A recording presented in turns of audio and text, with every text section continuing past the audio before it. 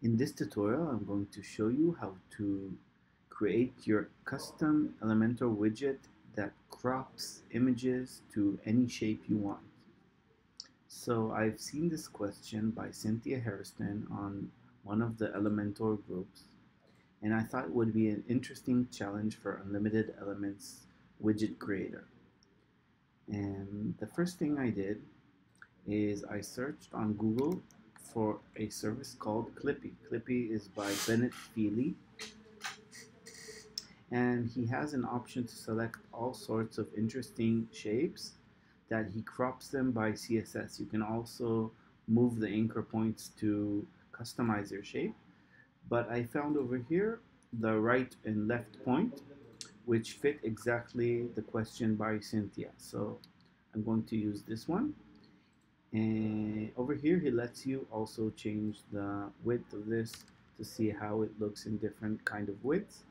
Of course, this is going to be responsive, so this is just an example of this specific width. Great, so the CSS for this is over down here. I'm going to copy that. And the next thing I'm going to do is I'm going into a service called CodePen. Whoever saw previous tutorials sees me using this a lot. I just like this editor since I can see everything live, it's saved, you can fork stuff. It's very comfortable. I'm going to open a new div and give that an ID. I'm gonna call it right point and in the CSS I'm going to open a selector.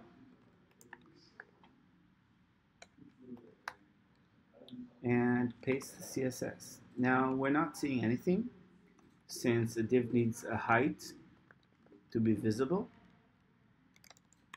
And it also needs a background color or background image so we can see it. Let's start with color.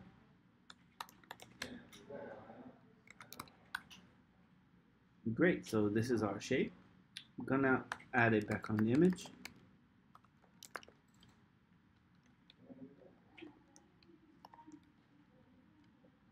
This is one of my images on the server.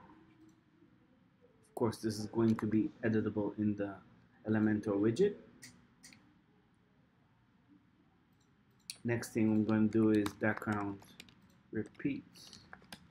No repeat and background size. Cover. And background position center. So this way any image anyone down uh, uploads will be centered and covering the whole image no matter what width the image is since we want this to be responsive. Let's just give this a name so we don't lose it if we need it for later and save. Great. So that's the first part, making the HTML and the CSS. The next part is making this into an Elementor widget. For that, I'm going to go inside of WordPress. You need unlimited elements installed. And inside of unlimited elements, we click add widget. I'm going to call this right point image right point image and add widget. Once the widget is added, we double click and inside of the HTML we paste the HTML.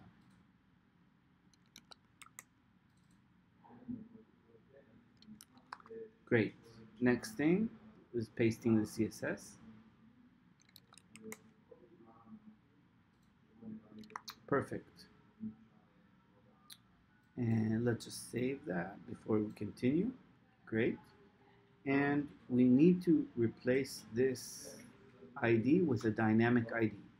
So I'm gonna copy the ID, replace that, save,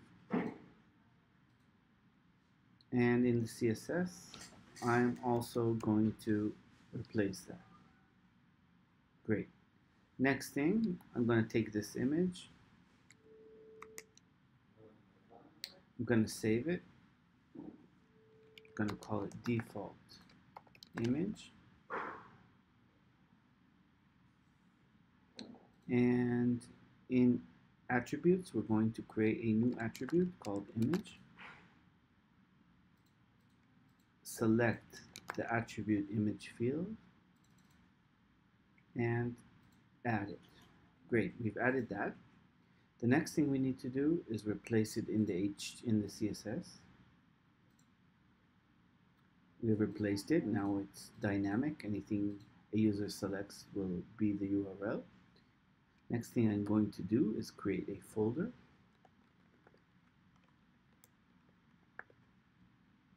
Create folder. Enter inside of the folder and click set to set the folder as the asset path for this widget. Over here we're going to click upload and let's upload our default image. We do need to go back into attributes, open this up, and now we can select a default image. Great. So we've got everything set up. I'm just going to click save. And we want to test this in pages. Add new. Edit with Elementor. And we're going to scroll down to the category we just created. We see the new image we've added and I'm dragging it inside wow that looks perfect to me I'm just missing maybe a height setting. Let's just check if we replace an image, if it looks good. Yeah, this is looking good. Select another image. Great. Now, to quickly go back to the framework for editing the HTML and adding, adding attributes, we've added a button over here. It's a quick button. You click on that and it opens the HTML tab. And over here I want to go into attributes.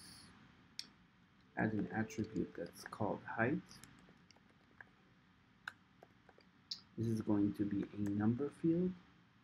And the default is going to be 400 we do not need a suffix and in the CSS I'm going to replace the static height with a dynamic height that the user can determine.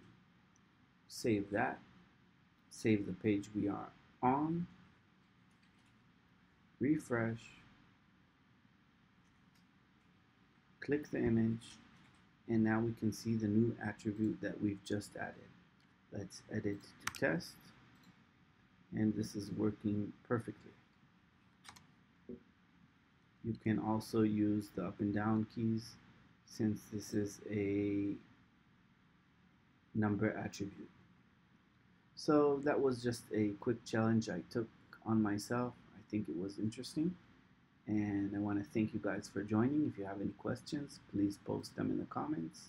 Please subscribe to our YouTube channel for more channel challenges and interesting stuff we're going to release. And see you next time.